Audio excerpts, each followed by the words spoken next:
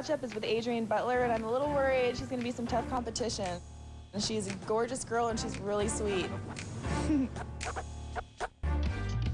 Hi, my name is Adrean Butler. I'm number 12 in the 2009 Hooters Best Damn Dream Girls Challenge.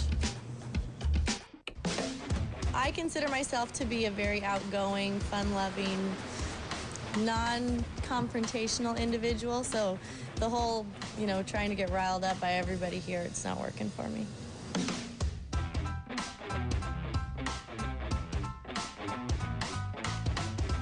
This year for Halloween, um, dressed up as a peacock.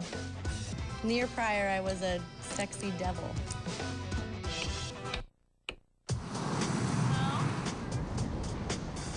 For my photo shoots here in the Bahamas, I got to crawl up the beach with Zach. All right, going all fours. Lots and lots of wind that morning, so it was tough to control my hair. There, here we go. And then this morning, very, very talented.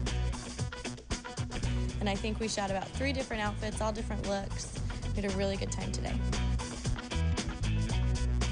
I think I've worn these bracelets in just about every photo shoot that I've had, just because I like to add a little bit of sparkle to everything. Don't forget number 12, Adrean Butler, in the 2009 Hooters Dream Girl Challenge. I'm out.